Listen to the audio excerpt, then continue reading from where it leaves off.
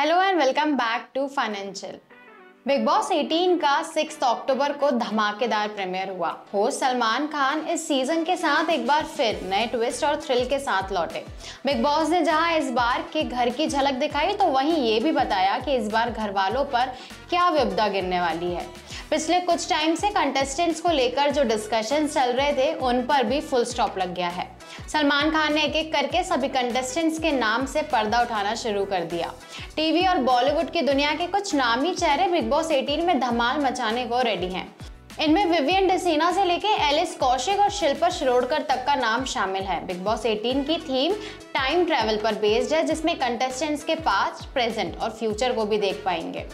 पर ये किस तरह होगा, ये देखना काफ़ी इंटरेस्टिंग होने वाला है। बिग बॉस 16 में जहाँ घर में एक डॉगी आया था, वहीं इस बार मेकर्स ने घर में गधराज यानी कि एक गधे को भेजा है। शो के फॉर्मेट के हिसाब से कंटेस्टेंट को गदराज की देखभाल करनी होगी। इतना ही नहीं, उसे पैम्पर भी करना होगा। बताया जाता है कि आगे के एपिसोड्स में बिग बॉस इससे जुड़ा कुछ टास्क भी करवाने वाले हैं। यही नहीं, इस टास्क को जीतने वाले कंटेस्टेंट को बड़े फ़ायदे मिल सकते हैं। हालाँकि ये टास्क क्या होगा और इसके क्या फ़ायदे होंगे, ये जानने के लिए तो हमें बिग बॉस के आगे के एपिसोड्स का वेट करना होगा। बिग बॉस 18 में इस बार 18 कंटेस्टेंट्स होंगे। सभी कंटेस्टेंट घर के अंदर जा चुके हैं। शो का प्रीमियर कलर्स चैनल चैनल से लेकर जियो सिनेमा ऐप पर लाइव देखा जा सकता है। बिग बॉस 18 के प्रोमो में ही बता दिया गया था कि इस सीज़न में क्या खास होगा। प्रोमो में कहा गया था कि इस बार बिग बॉस जानते हैं घर वालों का भविष्य। इस बार घर में भूचाल आएगा क्योंकि बिग बॉस में टाइम का टांडक छाएगा। बिग बॉस 18 में जो सेलिब्रिटीज बतौर कंटेस्टेंट नज़र आएँगे वो हैं विवियन डिसेना, शिल्पा शिरोडकर, ईशा सिंह, एलिस कौशिक, चुम दरांग, करणवीर मेहरा, नायरा बैनर्जी, चाहत पांडे, मुस्कान बाम ने वकील गुणरत्न सदावर्ते, तजिंदर सिंह बग्गा, रजत दलाल, शहजादा धामी अविनाश मिश्रा, हेमा शर्मा, श्रुतिका अर्जुन, अरफीन खान और उनकी पत्नी सारा अरफीन खान। बिग बॉस 18 की प्राइज मनी 50 लाख रुपए बताई जा रही है। पिछले सीज़न की भी यही प्राइज मनी थी। पिछला सीज़न यानी कि बिग बॉस 17 मुनवर फारूकी ने जीता था। इस बार कई तगड़े चेहरे बिग बॉस की ट्रॉफी के लिए भिड़ते हुए नज़र आएँगे। इस बार बिग बॉस का घर काफ़ी इंटरेस्टिंग डिज़ाइन किया गया है, क्योंकि ये शो की थीम टाइम का तांडव है, इसीलिए इसे इसी तरह से डिज़ाइन किया गया है। कहा जा रहा था कि निया शर्मा बिग बॉस 18 की पहली कंफर्म कंटेस्टेंट है। खतरों के खिलाड़ी 14 में उनका नाम भी सलमान के शो के लिए अनाउंस किया गया था। हालाँकि निया ने अब ये खुद बताया है कि वो शो का हिस्सा नहीं है। उन्होंने फ़ैन से माफ़ी मांगी और कहा कि वो ये सब हाइप और अटेंशन के लिए था। सलमान खान ने बिग बॉस 18 की पहली कंटेस्टेंट चाहत पांडे का स्वागत किया। उन्होंने सलमान की फ़िल्म प्रेम रतन धन पायो के टाइटल सॉन्ग पर ज़बरदस्त डांस किया और इम्प्रेस कर दिया। चाहत अपनी जर्नी और स्ट्रगल के बारे में बताती हैं। वो कहती हैं कि बचपन में ही उनके पिता की मौत हो गई थी, तभी से माँ ने उन्हें भाई बहनों को अकेले पाला है। चाहत ने बताया कि उनका सपना बिग बॉस 18 की ट्रॉफी जीतना है। सलमान खान पूछते हैं कि अगर उन्हें बिग बॉस के घर में अंदर कोई पसंद आया तो वो शादी करेंगी क्या? तो चाहत बोलती हैं कि नहीं करेंगी। बिग बॉस 18 के दूसरे कंटेस्टेंट शाहजादा धामी हैं। उन्होंने दर दर इसको गाने पर डांस करके धमाकेदार एंट्री की। शो में अनिरुद्धाचार्य महाराज भी आए। तीसरे कंटेस्टेंट अविनाश मिश्रा है। उन्होंने कुक्कड़ का मालदा सॉन्ग पर ज़बरदस्त परफॉर्मेंस दी। सलमान, शहजादा धामी और अविनाश मिश्रा का स्वागत करते हैं। फिर दोनों को उनका अतीत दिखाते हैं। वो शहजादा को उनके एटीट्यूड और गुस्से के बारे में बताते हैं। फिर शहजादा धामी बताते हैं कि उनके साथ ये रिश्ता क्या कहलाता है, कि सेट पर क्या हुआ था। वो बताते हैं कि वो एक टीवी शो में लीड रोल कर रहे थे। उस शो में उन्होंने बिना कोई छुट्टी लिए रोज पंद्रह घंटे काम किया। एक दिन उन्हें अचानक छुट्टी दे दी गई, फिर अचानक बुलाया और सबके सामने उनकी बेइज्जती की गई। फिर सलमान शहजादा को रोकते हैं और बोलते हैं कि आपने भी तो कुछ ऐसी हरकतें की होंगी जो बर्दाश्त के बाहर होंगी। तभी उन्होंने ऐसा किया होगा। फिर शहजादा बताते हैं कि उन्हें वकील का रोल करना था और पहले से ही ब्रेसलेट पहना दिए गए थे। क्रिएटिव डायरेक्टर ने उन्हें ब्रेसलेट उतारने को कहा। शहजादा ने बताया कि जब उन्होंने ब्रेसलेट उतार दिया तो डायरेक्टर ने उन्हें बुरी तरह से लताड़ दिया। चाहत पांडे की घर में एंट्री होती है और बिग बॉस उन्हें जेल की सजा सुनाते हैं। फिर बिग बॉस चाहत से कहते हैं कि जेल की भूख है और उनका पेट भरना है। अगर वो जेल में नहीं रहना चाहती हैं तो जो घर में एंट्री करने वाले किन्हीं दो सदस्यों को जेल भेज सकती है। बिग बॉस ने बताया कि जैसे जैसे काल का चक्र घूमेगा, घर में सदस्यों की एंट्री होती जाएगी। घर में अविनाश मिश्रा शहजादा की एंट्री होती है। चाहत उन्हें जेल में जाने के लिए मनाने की कोशिश करती हैं। सलमान फिर उस हीरोइन को बतौर चौथी कंटेस्टेंट बुलाते हैं, जिनके साथ लगभग 90 के डिकेट में आसपास करियर शुरू किया था।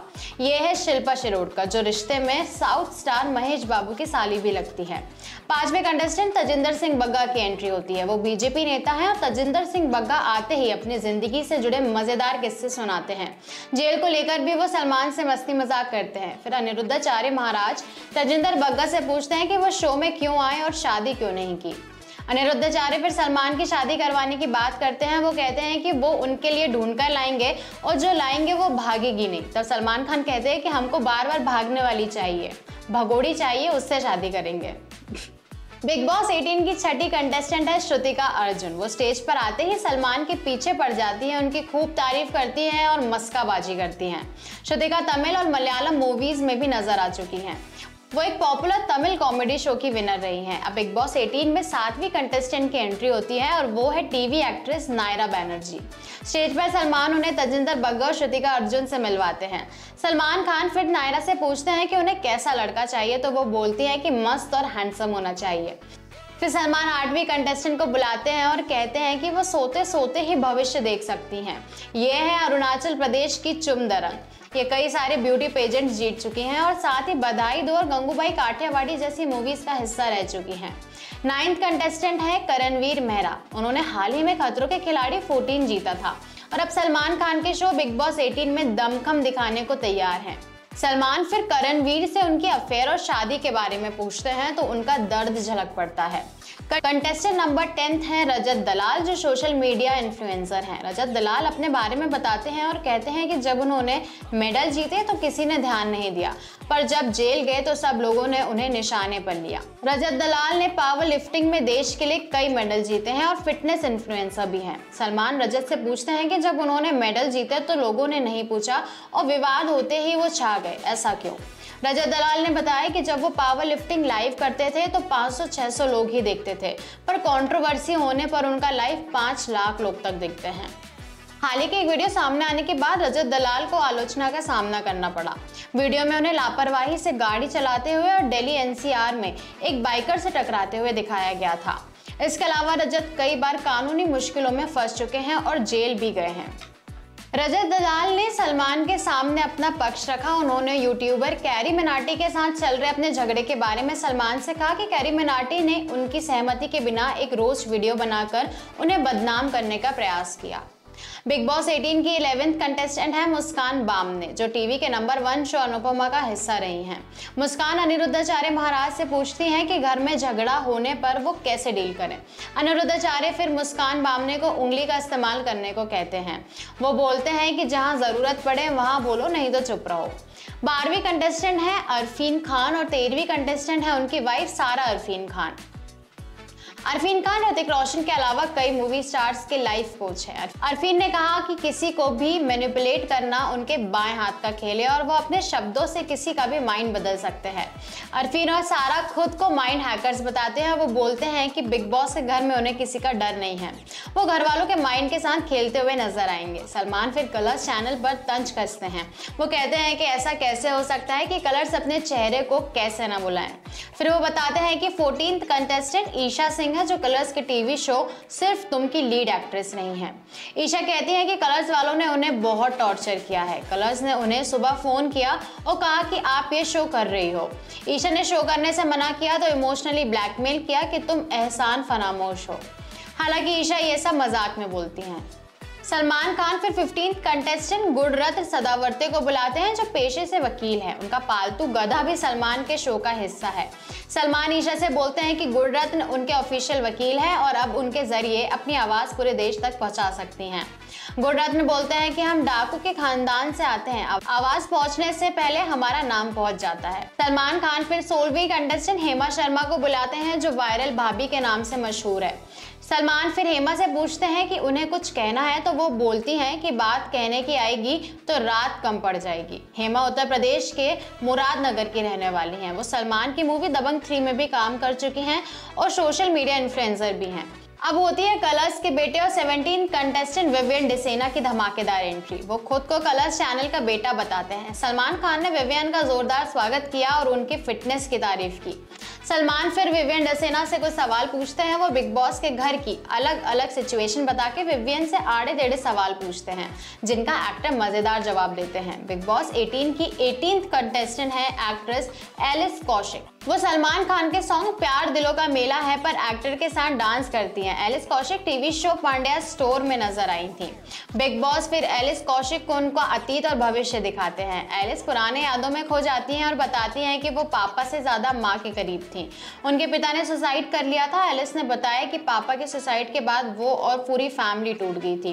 कई सवाल थे जो वो पापा से पूछना चाहती और उनसे थोड़ा और प्यार मिल पाता। एलिस बताती है कि पापा के जाने के बाद सिर्फ़ मम्मी ही बची थी, लेकिन उनकी भी किसी और से शादी होगी। फिर मम्मी उनके साथ नहीं रही, पर उनके मन में कहीं ना कहीं ये था कि वो हैं। समय बाद उनकी माँ भी बिछड़ गई। एलिस ने बताया कि उनकी माँ को हार्ट संबंधित समस्या थी, जिसके कारण उनकी जान चले गई।